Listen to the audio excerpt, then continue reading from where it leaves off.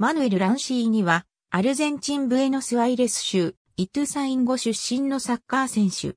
アルゼンチン代表。ウエストハムユナイテッド FC 所属。ポジションはミッドフィールダー。CA リーベルプレートのユースチームでキャリアをスタートさせ、2010年8月8日、CA、ティグレ戦でプロデビューを果たした。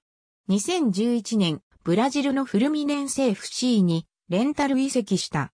2014年8月6日、アラビアンガルフリーグのあるジャジーラクラブと4年契約を結んだ。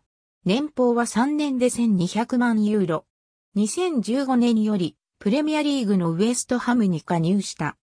8月15日のレスター戦でプレミアリーグデビュー。8月29日のリバプール戦でプレミア初ゴールを決めた。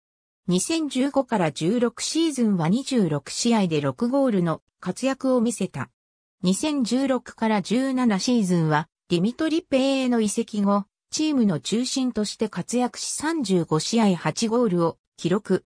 2018から19シーズンは、開幕前に負った全十字靭帯の怪我の影響で、復帰が翌年2月にまでずれ込んだ。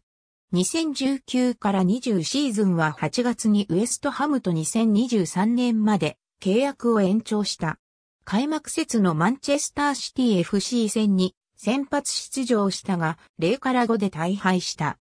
2020年10月18日のトッテナムホットスパー FC 戦では3点を選手され後半35分から2点を返した試合終了間際の94分エリア外から起死回生の同点スーパーゴールを叩き込んだ。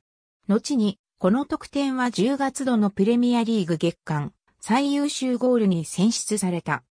2017年5月にブラジル、シンガポールとの親善試合に向けたアルゼンチン代表にも選出され、2017年6月9日のブラジルとの親善試合で81分から途中出場しフル代表のデビューを飾った。2018年3月23日のイタリアとの親善試合で代表初得点を挙げた。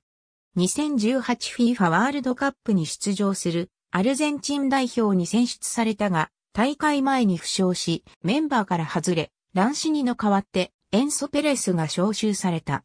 ありがとうございます。